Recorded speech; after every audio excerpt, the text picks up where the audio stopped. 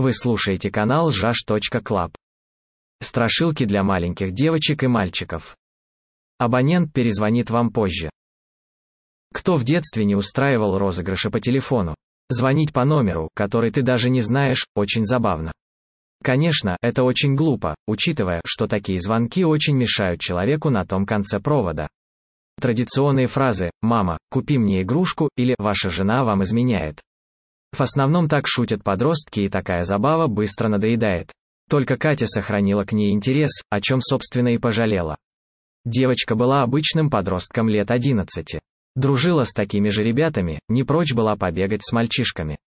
Как и все подростки, ребята любили шутки по телефону. По вечерам они собирались вместе и названивали по незнакомым номерам. Чаще всего их палил смех, от которого было сложно удержаться. Вскоре такая забава им надоела, и они ее забросили. Но только не Катя. Она продолжала названивать и шутить над людьми. Вскоре многие во дворе начали отдергивать, да брось ты это все. Погнали, в догонялки лучше поиграем. Катя не слушала. Она звонила и звонила. Было это ноябрьским днем. Школа, уроки, контрольные работы на детские забавы почти не оставалось времени. Однако Катя не оставила свое хобби. В тот день она, вернувшись со школы, быстро пообедала и сделала уроки. Потом просидела в ВКонтакте. Темнело уже рано, поэтому вскоре наступил вечер. Родителей дома не было, уехали к родственникам, а Катю не взяли, чего ребенка послякать и таскать. Ребенок же, чуть только стемнело, принялся за старое. Звонки полились ручьем, разъяренные мужчины, растерянные женщины. Иногда Катя задумывалась, кто этот человек на том конце провода. Кем работает? Какие карты ему разложила судьба? У всех ведь разные расклады.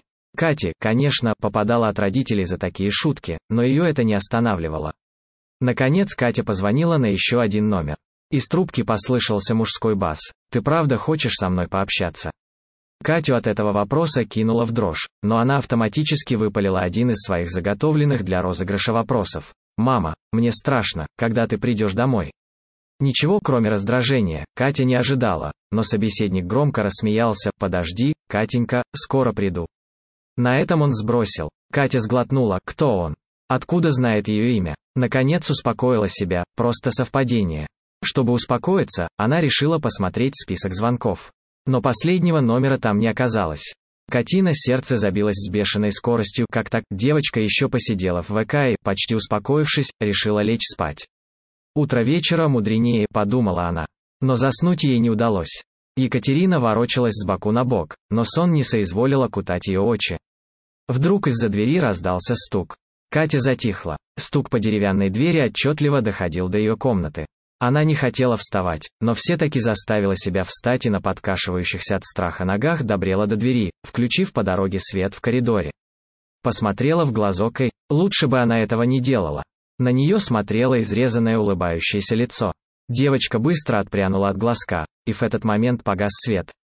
Катя попробовала включить свет, нервно щелкала выключателем, но все было бесполезно, тьма завладела квартирой. До полиции дозвониться не удалось, после набора заветных цифр повисала зловещая тишина. А стук становился все громче, все настойчивее. Наконец он стал настолько громким, что дверь, казалось, сейчас вылетит. Нервы сдали окончательно, Катя чуть не завизжала, быстро бросилась к шкафу и закрылась там, как когда-то, будучи совсем маленькой, играя с мамой в прятки. Только сейчас было совсем не весело. Она сидела тихо. Вдруг стук прекратился. Дверь легко со скрипом открылась, как будто и не была заперта. «Дочка, где же ты?» Раздался мамин голос, а потом мерзкий, зловещий, скрипучий смех, «Думаешь, не найду?» Спросил грубый мужской бас. Катя еле сдерживалась, чтобы не закричать. Продолжение читайте на сайте jash.club.